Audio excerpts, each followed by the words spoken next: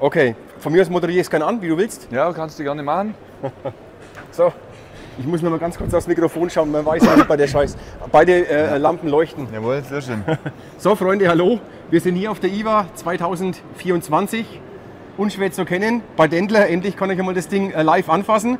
Äh, neben mir steht der Thomas Haas. Der stellt mir jetzt das Gerät mal vor. Und äh, ich kann euch schon äh, auf jeden Fall vorausschicken, es wird irgendwann die Waffe auch für uns Linkshänder geben. Jawohl, so ist es, Basti. Also herzlichen Dank für deinen Besuch. Ähm, Kein Thema, endlich. Jawohl, liebe Weitwerker da draußen, wir haben uns tatsächlich wieder was total Neues und Innovatives für euch einfallen lassen. Ja? Die DR21 Profi-Werkzeug für die Jagd ja? im 21. Jahrhundert. Ähm, was war das Ziel davon? Wir wollten eine unfassbar führige Waffe machen. Ja? Die soll maximal sicher sein. Natürlich super präzise ähm, Schussergebnisse ausweisen und äh, noch einfach in der Handhabung sein. Ja? So fühlt sich's an. Also Genau. wirklich coole Sache. Ja. Da hat sich mein Kollege dann einfach mal Gedanken gemacht, ja wie kriege ich jetzt eine kürzere Waffe hin, ohne einfach nur die Läufe abzuschneiden, wie die anderen das machen, ja? Weil ich will ja keinen Leistungs- oder Präzisionsverlust haben. Richtig? Und äh, dann ist er mit dem Konzept hier ums Eck gekommen. 87 cm Gesamtwaffenlänge bei einer Lauflänge von 52 cm. Also ihr habt im Endeffekt in Anführungszeichen Standardlauf drin und seid immer noch unter 90 cm. Das ist unfassbar Das führig. ist extrem. Und woher kommt der ganze Spaß? Der kommt daher, weil wir einen abklappbaren Abzugsbügel hier haben mit einem Einschubmagazin. Ja? Dieses Einschubmagazin hat 7 plus 1 äh, Magazininhalt bei äh, Minikalibern und 5 plus 1 in Standard- und Magnum-Patronen. Ideal, ja? wenn du Drückjagd hast, da brauchst du nicht ständig nachladen. Absolut, Top. so ist es. Das ist schon Und weil dieses Magazin hier positioniert ist, im Gegensatz zu äh, konventionellen Repetieren, die haben das Magazin vor dem Abzug. Die A8 zum Beispiel, die hat es über dem Abzug und wir haben es jetzt in Hinterschaft integriert. Deshalb sparen wir uns 20 cm ja? Von den, zu konventionellen Repetieren und 10 cm zu einer A8 zum Beispiel. Ja? Das heißt, du bist halt wirklich unfassbar führig. In Zusammenfassung, unfassbar führig, weil Magazin hier. Magazin hier und du bist weit unter Meter. Exakt, weit Wenn du unter dann dem Schalldämpfer Meter. drauf machst, bist bei, wenn, wenn du einen guten 98. Overburn hast, bist, bist bei unter Meter. Ne? Exakt so ist es. Ja, saugeil. Ja, und hier maximale Sicherheit. Handballen-Spannsystem. Ja?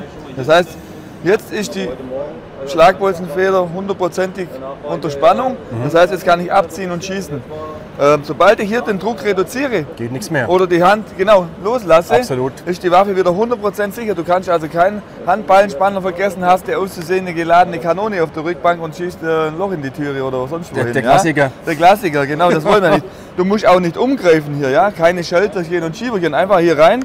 Ist einfach in dem Moment, wenn du die Waffe einfach äh, stark anfasst, vorm Schuss, Genau. spannst du sie eigentlich intuitiv. Ne? Exakt. Du, hast, du Ja, das ziehst in die Schulter rein, spannst sie und dann kannst du abschlagen. Oder eben halt, wenn nichts ist, dann lässt du los, ist die Waffe wieder 100% sicher. Ja? Ähm, genau. Das ist ein Teil der Sicherheit. Der zweite Teil, den haben wir hier. Wir haben den Geradezug. Repetierer, Ein ja, mit einem Drehkopfverschluss. Dieser Drehkopf hat sechs Verriegelungswarzen, 120 Quadratmillimeter Verriegelungsfläche. Das heißt, da bist du oberhalb von Mauser 98 unterwegs. Ja? Also das Ding ist 100% sicher. Okay, Da ganz, ganz, ganz, ganz kurze Frage zu der Verriegelungsfläche. Da fragen immer viele, ja, ich habe keinen Vergleichswert. Also Ja.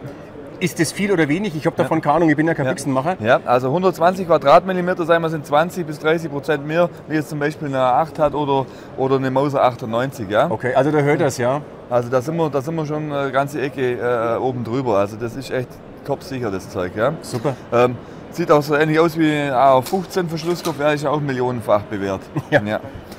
Kann man auch ja. werkzeuglos entnehmen, ja, einfach den Auszieher zur Seite schieben, rausnehmen. Waffe wird unbrauchbar dadurch, ja, beziehungsweise kann ich einfach und schnell den Kaliberwechsel durchführen. Das ist eigentlich der Klassiker, wenn ich irgendwo unterwegs bin, ne? irgendwie Jagdurlaub, gehe aus dem Hotel raus und nimm das Ding mit. Ne? Exakt so ist Das ist es. der Klassiker. Ja, das ist Super. der Klassiker. Bin- Ja, top. Andere Seite haben wir dann, äh, das haben wir den Hauptgrund für unsere tolle Präzision, ja. Nur eine Schraube, habe ich schon tausendmal Ja, gehört genau. jetzt, aber das ist natürlich Genau, also mit einer Schraube lösen wir hier unseren Austausch auf Einheit, ja. In Sekundenschnelle. der Wahnsinn. Ja. Und haben dann tatsächlich hier einen Stahlstift drin und einen Niederzugkeil. Und zwischendrin 1400 Quadratmillimeter Laufbettung.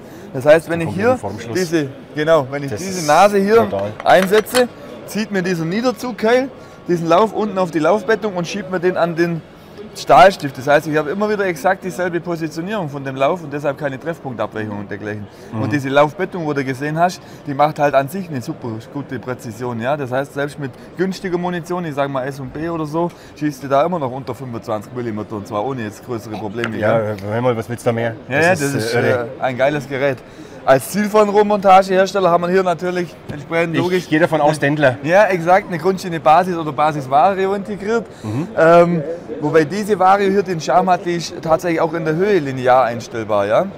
Das heißt, Oh, okay. im Zubehör ist es ja aktuell immer noch so, dass du da einen Exzenter drin hast. Das ist ein bisschen knifflig. Ja. Der läuft eben auf so einer Parabel. Ja? Da muss man ein bisschen Gefühl entwickeln dafür, wie man den einschießt. Max, hier, genau. hier hast du tatsächlich ein Teilstrich ist ein Zentimeter Linearverstellung in der Höhe, also einfach einzuschießen. Und dann haben wir hier eine verstellbare, höhenverstellbare Schaftbacke. Wird Okay. allerdings in 98% der Fälle genau in dieser Position bleiben, weil wir hier eine sehr niedrige Visierlinie haben. Ja? Und am Schaftende haben wir noch entweder fixe Schaftkappen in drei unterschiedlichen Längen oder hier was längenverstellbares und gedämpftes. Ja? Also kann ich hier in der Länge Das- verstellen. Das ist dann, glaube ich, der, der, der, der Unterschied zum Standard und, und, und der gehobeneren, in Anführungszeichen, richtig? Einer der Unterschiede, hier längenverstellbar und gedämpft. Hier habt ihr eine Basis Vario drauf, die einstellbar ist, auf der Standardwaffe nicht. Ja. Und dann haben wir hier drin noch eine, ein kleines Geheimnis. Das nennt sich automatische Repetieranschläge. Die machen wir auch. Das heißt, ich nehme hier die Leute. Schaftbacke ab. Und jetzt, Kodierung. genau, jetzt habe ich endlagengedämpfte Repetierweganschläge, die übers Magazin gestellt werden. Seht ihr das? Das bewegt sich, wenn ich hier zuklappe. Ja. Das heißt, dieses Magazin wird hier an diesen Flächen abgetastet über diese zwei Hebelchen. Jetzt weiß ich natürlich nicht, ob man das irgendwie sieht. Ja, Mache da noch ein Close-Up, kein ja. Problem. diese zwei Die Hebelchen, drücken das hinter. genau, die fühlen das Magazin ab und dann wissen die, aha, Standard 2, das heißt, da brauche ich die Repetierweglänge und dann stellt sie automatisch diesen Repetierweg ein. Das heißt, wenn ich ein Magnum-Kaliber habe, dann repetiere ich natürlich weiter und wenn ich irgendein äh, äh, Schonzeitkaliber habe, dann ist der Repetierweg kürzer. Exakt, so sieht's aus. Das ist natürlich auch stramm. Ja, genau, du sagst es, genau. Und so setzen wir die einfach wieder auf, fahren die nach unten, drehen wieder zu und dann, dann sind wir mal so weit in den technischen Features durch. Was noch interessant ist, die Waffe liegt ungefähr bei 3,8 Kilo, ja, je nach Ausstattung plus minus. Äh, wir haben die, die Waffe im Angebot aktuell in 308, 306, 8x57, 223, 300 Winmark. Habe ich schon gesehen bei der Franconia. Jawohl, Frage, kann man die bei euch direkt erwerben oder geht es nur über die Franconia? das geht nur über die Franconia, ja. Alles klar, gut. Weil das unser Vertriebspartner Ja, der- alles klar. Weg ist, jawohl. Ähm, genau, das Gewicht haben wir ja. Ja. Zwei Punkte habe ich noch kurz, bevor du dann tatsächlich loslegen darfst, gerade für euch da draußen. Äh, ganz wichtig, wir haben hier eine Kammergriffsperre, ja. Wie viele andere Handspanner eben auch. Das heißt, Push-Funktion so. ja genau, wenn ich also hier einfach mit dem Daumen etwas eindrücke, dann kann ich oben aufmachen zum Entladen, ja. Schön, top. Genau. Wenn ich abgeschlagen habe, dann natürlich geht es ganz normal zum Repetieren. Ne? Wichtig einfach nur, damit er hier den Hebel nicht abreißt. Genau. So schaut das gute Ding hier aus. Ja, für mich ist es immer, das ist ein schönes Gewehr, wo man einfach sagt, das ist Hop oder Top. Mir Ja. persönlich gefällt es top. Und der andere sagt, das ist nicht so mein Fall. Also ich finde es Ja. geil. Ja. Ich äh, will jetzt einfach einmal mit links anfassen, ob ich es schaffe, mit links ähm, zu spannen. Fakt ist auf jeden Fall, man merkt natürlich, dass da die Ergonomie für eine rechte Hand ist. Aber jetzt schauen wir mal, ob ich es schaffe. Ja, man wird sehen. Also wenn sie aufgeht, habe ich sie komplett gespannt. Loslassen. Loslassen, zumachen, schlage ich mal ab. Ja. Jawohl. Also funktioniert. Kein Thema. Gott sei Dank 800 Gramm Direktabzug. Ja, das ist fast wie Stecher. Das ist, also, ist ja Ja. ziemlich geiles Ding. Ich freue mich natürlich, Freunde, wenn das Ding endlich für Linkshänder äh, verfügbar ist. Bis dahin muss ich warten. Ähm, Jawohl. Ich habe vorhin schon irgendwas gehört, von ungefähr einem Jahr. Ja, also Anfang nächsten Jahres soll es soweit sein. Ja, wir hoffen, dass wir das äh, hinkriegen, weil wir aktuell gerade komplett überrannt werden. Weil, Mit wie du Recht. richtigerweise, richtigerweise sagst, ähm, jeder hat eine Meinung dazu. Wir sind in aller Munde mit dem Ding. Äh, es polarisiert logischerweise. Muss Klar, es. Innovation bedeutet natürlich einmal, äh, es gibt ein bisschen anderes Design, es gibt ein bisschen andere Handhabung, ja, aber da gewöhnt man sich relativ schnell dran. Darum Mhm. haben wir mittlerweile auch schon Waffen draußen, also wir liefern schon. Da sind schon Jäger, die schicken mir jeden Tag Bilder von den erlegten Schweinchen Jawohl. und so weiter. Also ähm, das geht richtig gut los hier. Ja. Ist, wie gesagt, ein geiles Konzept. Ich ähm, habe es in einem meiner Videos einmal äh, angeteasert, die Waffe. Und vom, vom System her habe ich es ein wenig verglichen mit der Jagger J1.